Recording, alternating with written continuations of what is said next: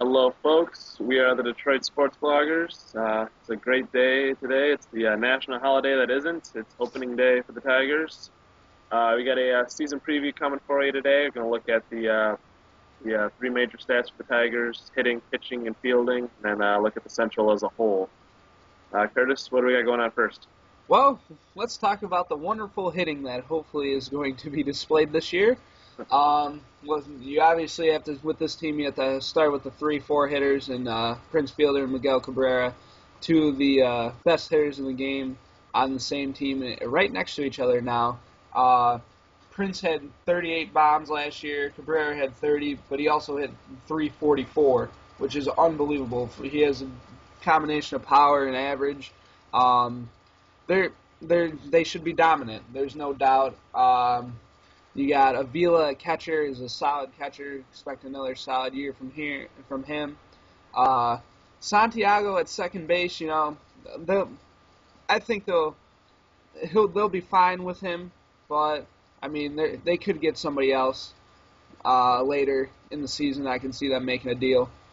Uh, shortstop Giant Peralta, hopefully another solid year for him. He was a steal as well. Um, Delmon Young, expect big things. Uh, he had eight home runs in 40 games with the Tigers, uh, regular season wise, and came up big in the postseason for them. Uh, Brennan Boesch, Austin Jackson, Ryan Raburn, you know, all young younger players expected to do big things as well. Uh, hopefully, I think the key though uh, for this lineup is Austin Jackson.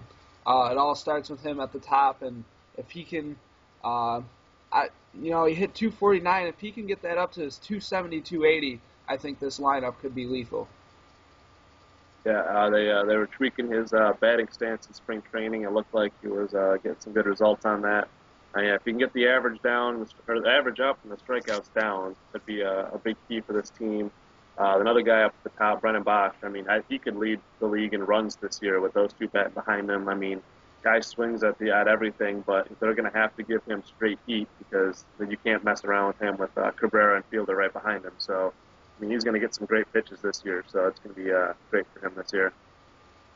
Uh, the only guy I'm kind of worried about is Peralta. I mean, he did have a career career year last year, so I don't know if he's going to be able to stay hitting about 300. But I mean, if he can hit 3, 270, 280, that would that work for me. You know, I mean, your shortstop's not supposed to be this big power hitter anyway, but I mean, he had 21 home runs, 86 RBI last season, so you can't complain too much about that from your six seven hitter. So uh, the only guy I said to worry about is Santiago slash uh, slash Raburn slash Brandon Inge when he makes it back. So second base, if they can find an upgrade, I'd love to see one.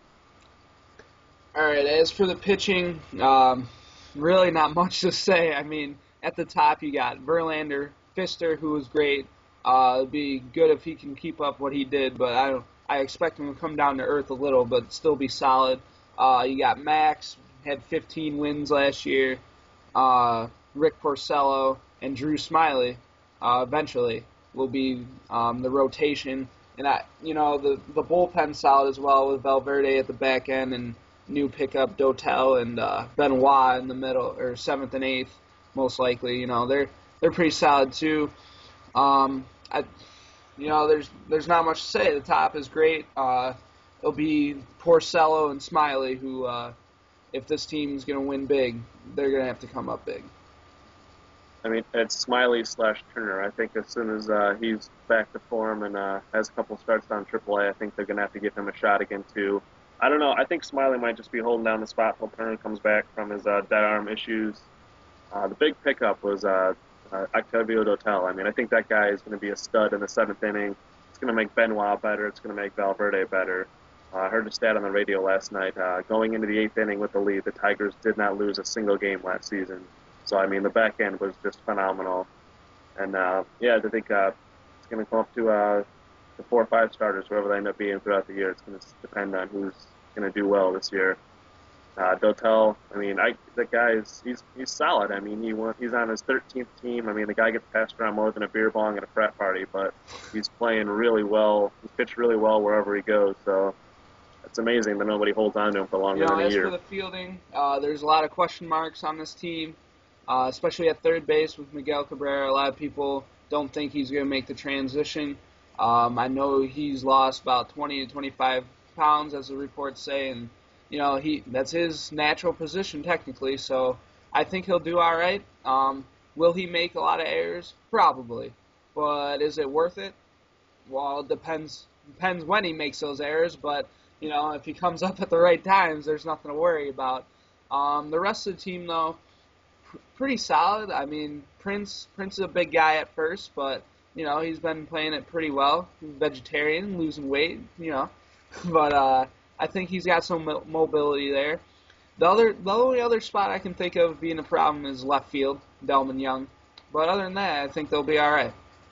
You know, I mean, the whole left side of the infield, uh, Peralta's steady, but he doesn't have the range he used to. So, I mean, there's going to be a lot of seeing eye singles get through the left side of the infield that really weren't that close to being gotten anyway. So, uh, like I said, I think as long as, I mean, the only guy I think is going to be a real issue for would be uh, Fister and uh, Porcello, as they're the they're the ground ball pitchers. So hopefully they can uh, get them hit to somebody. Otherwise, might have a little bit of issues with that. So.